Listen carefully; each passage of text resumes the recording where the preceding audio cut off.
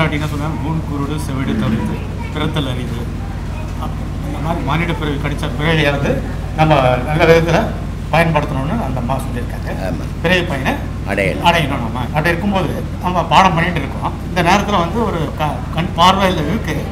சில குறைபாடுகளாக ஆப்ரேஷன் பண்ணணும்னு பண்ணிக்கலாமா? அதனால இந்த அப் அபியாசம் செய்யறதுனால எந்த ஒரு பாதிப்பும் எந்த ஆப்ரேஷன் ஆப்ரேஷனு ட்ரீட்மெண்ட் கண் ஆப்ரேஷன் கண் ஆப்ரேஷன் யார்? எல்லாருக்குமே சொல்கிறேன் யாராவது கண் ஆப்ரேஷன் பண்ணவங்க இருந்தாலும் சரி இல்லை பண்ண போகிறவங்களா இருந்தாலும் சரி ஆறு மாதத்துக்கு இந்த பாடம் பண்ணக்கூடாது. ஏன்னா இந்த மூச்சாகப்பட்டது ரெண்டோ ரெண்டு கண்ணில் தான் ஓடும். இது ஆப்ரேஷன் பண்ண கண்ணுக்கு ஓடுச்சுன்னா கண்ணு கலங்கின மாதிரி ஆகிடும் பார்வை அடிப்படும் அதனால் தயவு செய்து யாருமே கண் ஆப்ரேஷன் பண்ணுறவங்க இந்த பாடத்தை ஒரு ஆறு மாதம் நிறுத்தி வைங்க. நிறுத்தி வச்சுட்டு அப்புறம் பண்ணுங்க ஒன்றும் பிரச்சனை இருக்காது. ஆனால் ஆப்ரேஷன் பண்ண உடனே இதையும் பண்ணிங்கன்னா கண்ணுக்கு டேஞ்சர் ஆகிடும் ஜாக்கிரதையாக பண்ணுங்கள் ஏன்னா இந்த காத்தாகப்பட்டது ரொம்ப பொல்லாதது. கண்ணை கலக்கிட்டோம். கண்ணை கலக்கி போச்சுன்னா ஆப்ரேஷன் பண்ணுவோன்னே சண்டை போட்டு வந்த நம்மக்கிட்ட ஒரு சீடர் ஒருத்தந்தார் போய் கண் ஆப்ரேஷன் பண்ணின்னு வந்தார். ஜெகதீசன் அவர் பேர். கண் ஆப்ரேஷன் பண்ணின்னு சும்மா வீட்டில் உட்காந்து அதை நினச்சிக்கினார். அதை நினச்சாவே நேராக கண்ணுக்கு தான் போவோம் கடைசியில் பார்த்தா கண் கலங்கி போச்சு. தண்ணி ஊற்ற ஆரம்பிச்சிச்சு டாக்டர்கிட்ட போனால் நீ எங்கேயோ போய் சண்டை போட்டுட்டு கண்ணில் அடிச்சுட்டுக்கிறாங்க அப்படின்ட்டு ஏன்னா அந்த மாதிரி மாற்றிடும் அந்த காற்று அதனால் தயவுசெய்து ஆப்ரேஷன் பண்ணவங்க யாராவது இருந்தாலும் ஆறு மாதம் இதை செய்யக்கூடாது. அதுக்கப்புறம் செய்யுங்க ஒரு பாதிப்பும் வராது. என் மனைவி இறந்துட்டாங்க. சரி. நான் கிட்னி டொனேட் பண்ணேன் பொண்ணுக்கு. சரி. கிட்னி கொடுத்துட்டேன் பொண்ணுக்கு. சரி. நான் பண்ணிக்கலாம்ல அப்படி மாதிரி. பண்ணலாம் பண்ணலாம். அதுக்கு அதுக்கு கண்ணுக்கு தான் டேஞ்சர் வேறு எதுக்கும் ஒன்றும் பாதிக்காது. கண்ணுக்கு தான் டேஞ்சர் அதனால் கண் ஆப்ரேஷன் பண்ணவங்க மட்டும் இதை செய்யக்கூடாது. ஐயா நம்ம கோவிலில் சண்முக நகரில் வந்து சரி. ஆதியோகி சிவன்றோம் சரி. அவருடைய பிரதிஷ்டை நம்ம கோவிலில் ஆதி சிவனை யார் அது? சித்திரை தானே ஆசிரமம் ஃபுல்லாக வச்சுருக்குறோம். அப்புறம் வேறு யார் பிரதிஷ்டை பண்ணுறது சிவன். சிவமண்ணா யார் பாது யார் சிவமண்ணா யார் அது? ஈஸ்வரன். ஈஸ்வரன்னா யார் அது? சும்மானா எவனா பண்ணுறதெல்லாம் பிலிம் காட்டுறதெல்லாம் நம்ம ப பேசக்கூடாது. சிவமன்னாவே நீ தான் நான் எத்தனை வாட்டி சொல்கிறேன் கடவுள் வெளியவே இல்லை மனுஷனுக்குள்ளே தான் இருக்கிறான்னுட்டு. அதனால் உனக்குள்ளே இருக்கிற சிவத்தை தேடு. நீ ம- உருப்படுவ. ஊரில் இருக்கிறதெல்லாம் தேடினா உனக்குள்ளே என்ன ஆகுதுன்னு தெரியாமல் போயிடுவேன் அதனால் உனக்குள்ளே உன்னை தேடு. நீங்கள் சொல்லியிருக்கீங்க இந்த சாமி இல்லற வாழ்க்கையில் இருந்துகிட்டே தான் சாமி கும்பிடணும்னு சொல்லியிருக்கீங்க. தனியாக போகக்கூடாதுன்னு சொல்லியிருக்கீங்க. இப்போ நம்ம இல்லற வாழ்க்கையில் இருந்துகிட்டே போகிறோன்றப்போ வந்து நம்ம அதுக்கடுத்து கல்யாணம் போட்டின்றப்போ வந்து அதுக்கடுத்து காசு தேவைப்படும் அப்படின்னு ஆசை வரும் ஐயா அப்போ எப்படி நம்ம இது வந்து தனியாக இருந்ததுனால காசு இல்லாத வாழ முடியுமா? இப்போ இங்கே வர்றதுக்கே காசு இல்லாத பஸ்ஸுக்காரன் ஏற்ற மாட்டான். காசு உலகத்தில் வாழ்க்கைக்கு அவசியம். ஆனால் காசே வாழ்க்கையை ஆக்கிக்க கூடாது. அப்படி ஆக்கும்போது தான் நீ உன்னை மறந்துடுவ. குழந்தை குட்டி எல்லாமே இருக்கணும். செயல் இருக்கணுமே தவிர நீ அதில் ஒட்டக்கூடாது. ஒட்டினா அதுலேருந்து வெளியே வர முடியாது உன்னால். மனைவி ஒரு உருவம் இருக்கிற அவளுக்கு என்ன தேவை? அதை கொடுத்துட்டு நீ ஒதுங்கி நிற்கணும் கடவுளை தேடணும். அப்படி தேடினா உனக்கு ஆபத்து இல்லை. நீ இமயமலையில் போய் உட்காந்தினா கூட உன் பொட்டாட்டி மேலே தான் ஆசை இருக்கும். இமய கடவுள் மேலே ஆசை இருக்காது. ஓட உடல் தான் அங்கே இருக்குமே தவிர உன் எண்ணங்கள்லாம் வீட்டில் தான் இருக்கும். அது மாதிரி போலியான வேஷம் போடாதீங்க. உண்மையாக கடவுளை தேடுங்க. இல்லறத்துலேருந்தே சாதிங்க.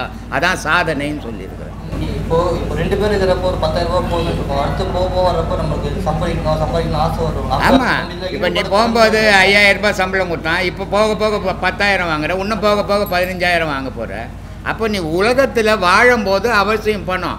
ஆனால் உன் குடும்பத்தை நிம்மதியாக காப்பாற்றணும் அதுங்களை பருதவிக்கு விட்டுட்டு நான் கடவுளை தேடுறேன்னா அதை விட முட்டாள்தனம் ஒன்றுமே கிடையாது. அவங்கள சீராக வளர்க்க கற்றுக்கணும் முதல்ல. ஏன்னா குடும்பம்ன்றது எல்லாராலையும் முடியும். அதையே காப்பாற்ற முடியல யாராலையும் முடியாத கடவுளை எப்படி தேடுவீங்க? அதனால் எல்லாராலையும் ஈஸியாக செய்யக்கூடியது ஒரு குடும்பம். நாய் நரி கூட ஒரு கூட்டத்தை வச்சுன்னு குடும்பம் நடத்துது. அப்புறம் மனுஷனால் ஏன் முடியாது? எல்லாம் முடியும். மனசு இருந்தால் முடியும். மனம் பயந்துச்சுன்னா எதுவுமே செய்ய முடியாது. அதனால் மனசை தைரியப்படுத்திங்க. பாடத்தை பண்ணுங்க உங்களுக்கு தெளிவு கிடைக்கும் உண்மை தெரியும். ஆத்மானகுமார் நான் வந்து நாற்பத்தேழு வயசு ஆச்சுங்க நாற்பத்தேழு வயசில் நான் வந்து நீங்கள் ஒரு கதையில் சொல்லியிருப்பீங்க. ஒரு பன்னி வந்து சேத்துல பிறந்து வரணும். ஒரு சுத்தமான யானை ஒன்று வந்து ஒதுங்கி நிற்கிறாங்க அந்த மாதிரி நான் பண்ணியே தான் இருந்தேன் நாற்பத்தேழு வயசில். ஒரு மூணு மாதமாக அவங்கள நான் ஃபாலோ பண்ணேன் இப்போ என்னால் உணர முடியுது. நான் வந்து சுத்த பொருளாக சுத்த பொருளாக இருக்குன்னு சொல்ல வரல ஆனால் அந்த பொருள் ஆகிறதுக்கு நான் இப்போ தான் முயற்சி பண்ணேன். முயற்சி பண்ணணும் அது என்னால் உணர முடியுது. கண்டிப்பாக ஒவ்வொரு எல்லாராலையுமே முடியும். மனசு அதை விரும்பிச்சுன்னா நம் அசுத்தம். சுத்தம். பரிசுத்தம். இந்த மூணு நிலையை அடைஞ்ச பிறகு தான் கடவுளை அடைய முடியும் மனுஷன். இந்த மூணுல இருந்துக்குன்னு எவனாலையும் கடவுளை அடைய முடியாது. அப்போது எடுத்த உடனே சுத்தமாக ஆயிட முடியாது. ஏன் தெரியுமா?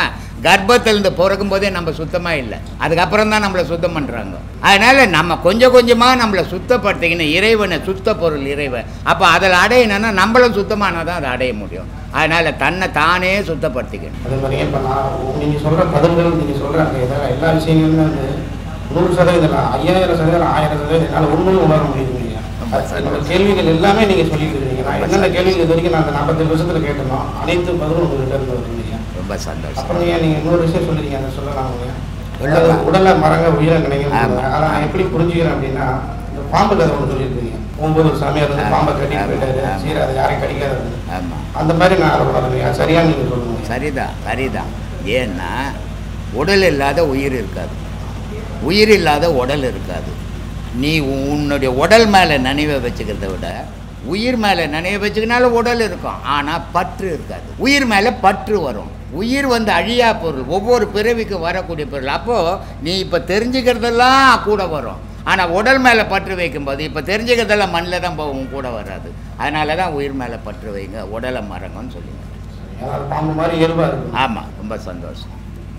ஐயா. சொல்லுப்பா. நான் சின்ன வயசுல இருந்தேங்க. திருநீர் வச்சுக்கிட்டே இருக்கேங்க. எப்ப?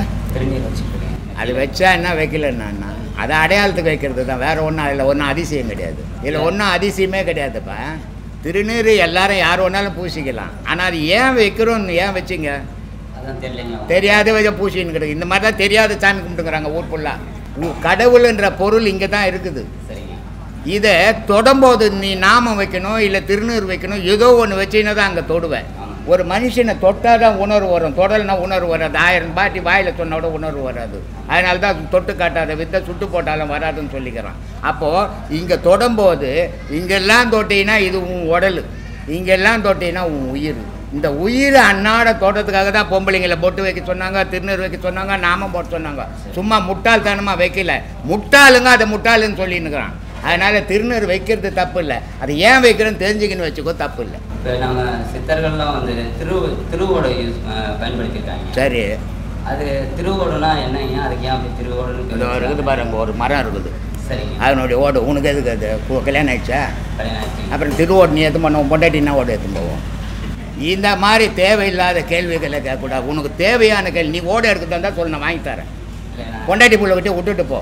பிச்சு அது ரோடெல்லாம் கையேந்தி பிச்சு எடுக்கும். உன் வாழ்க்கைக்கு எது தேவை அதை கேளுப்பா. ஞானிகளை பற்றி பேச தகுதி உனக்கு இருக்குதா? முதல்ல அதை தெரிஞ்சுக்கணும். நம்ம ஒருத்தரை இப்போ ஒரு ஒருத்தரை பற்றி பேசணும்னா நமக்கு அந்த தகுதி இருக்கணும். மகான்களை பேசுறதுக்கு இங்கே யாருக்குமே எனக்கு கூட தகுதி கிடையாது. நான் அதை அவங்கள நோக்கி அவங்க காட்டினப்போ இப்போ இவ்வளோ சித்தர் படம் வச்சுக்கிறேன். அவங்களாம் சோறு போடுவாங்களா எனக்கு? இல்லை துட்டு கொடுப்பாங்களா? ஏன் வச்சுக்கிறேன் தெரியுமா? அந்த வழி தெரியணுன்றதுக்காக வச்சுக்கிறேன். அவங்கள வச்சதால எனக்கு ஒரு பயணம் கிடையாது. தூக்கி ரோட்டில் போட்டு ஒரு சேலஞ்ச் சித்தர் ஒன்று செத்து இல்லை படம் தான் ஒழிஞ்சு போகும். அது மாதிரி சித்தர்களை பேசினா நமக்கு ஒரு தகுதியை உருவாக்கின்னு பேசணும். ஒன்றுமே தெரியாத போய் சித்தர்களை பற்றி பேசுறது முட்டாள்தனம். அதனால் அதெல்லாம் மறந்துட்டு உன்னை பற்றி பேச கற்றுக்கோ சரிங்க சரி போயிட்டோம் ரொம்ப பேர் இங்கே நிறைய பேர் சொன்னாங்க. ஒருத்தர் வந்தார் எனக்கு ஒரு சிஷியம் கூட இல்லைன்னு. சாமி யாருமே இல்லைன்ட்டுங்க இனிமேல் நான் தான் உங்களுக்கு சிஷியன் நான் மறுமாசமே காணோம். அது மாதிரி ஆயிரம் பேர் சொல்லிட்டாங்க. நீ ஏந்து போய் உன்னை தேடு போ. குருவார்கள் எப்பொழுதும் என்னுள் ஐயா நீங்கள் வந்து உயிர் மேலே வந்து ஆசை என்ன சொல்றீங்க? ஆமா. இது இது என்பது நீ விந்து தான் உயிர் சொல்றீங்க. ஆமா. இப்போ விந்து என்பது நம்ம எப்படி ஐயா அந்த அந்த அது மேலே ஆசை இப்போ உடம்பு வேற போல செய்யணும் இல்லைங்களா? நான் பல வீடியோக்களில் சொல்கிறேன் மனிதனுடைய நோக்கம் என்னன்னா அடையாளம் உள்ள பொருள் எல்லாம் பார்க்குது அது மேலெல்லாம் ஆசை. அடையாளமற்ற பொருள் கடவுள். கடவுளுக்கு எங்கன்னா அடையாளங்குதா அதே மாதிரி உங்கள் உயிருக்கு என்ன அடையாளங்குதா இல்லை. ஆனால் அடையாளம் உள்ள உ- உருவத்து மேலே ஆசைப்படுறீங்க. ஆனால் இந்த உருவம் மண்ணு துண்ண போகுது. உயிரை மண்ணு துண்ணுமா? அப்போது உடல் மேலே ஞாபகத்தை உண்டாக்கினீங்கன்னா மரணம் அடையும் போது அது மண்ணோட போயிடும் அந்த ஞாபகம். திரும்பி அது உங்களுக்கு தொடராது. ஆனால் உயிர் மேலே ஞாபகத்தை உண்டாக்குனீங்கன்னா அது பிறவி பிறவிக்கு தொடர்ந்து வரக்கூடியது. அப்போ அதனால தான் உயிர் மேலே ஆசை வைங்க. உயிர் மேலே எண்ணத்தை வைங்க. உயிரை அறிய கற்றுங்க உடலை மறங்கன்னு சொல்லினுக்கிறேன் சாமி. ரொம்ப நன்றி சாமி.